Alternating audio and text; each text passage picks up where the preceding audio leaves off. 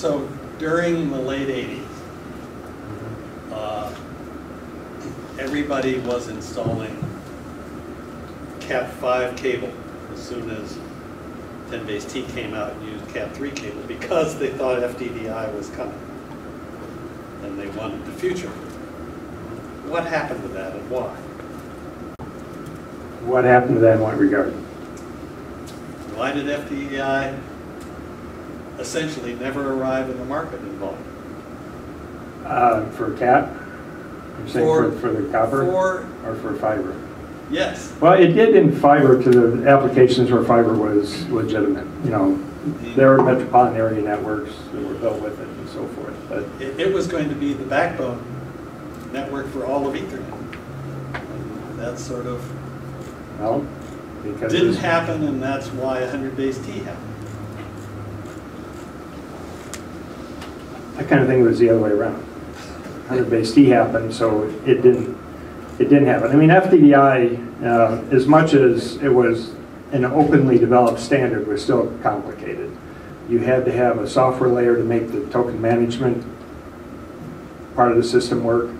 Um, There were huge interoperability issues that you ran into because it wasn't all one vendor doing the technology. Uh, When I was at AMD, we had this advanced networking test center we we funded and put in place so that the vendors could come in and test the interoperability of their products. That was a huge barrier in the market, yeah. Didn't that become sort of through several evolutions, uh, what we now know as SONET? I don't think so, No. I'm not that familiar with. Dramatically, It's- it's- radically different. It's a countered rotating fiber rings running at optical Now, speed. completely different. SONET, SONET predates uh, FDDI, and it is a TDM technology. Right, So now FDDI was not the basis for SONET, okay. nor, nor was SONET the basis for, for FDDI. One observation I'll have, I, whether it was Ethernet got there or FDDI didn't, I think you sort of ran into the same thing that dot five did, which is, it was just bloody complicated. You know, the whole station management software stack, and there were a couple of folks who I have to say, seemed to love complexity. And so it was, it was that great thing of we're not going to publish a standard until we have solved every imaginable problem under every possible use case. And the thing just got to be so heavy that it sort of collapsed under its own weight. And SMT took about two and a half technology lifetimes to get out the door.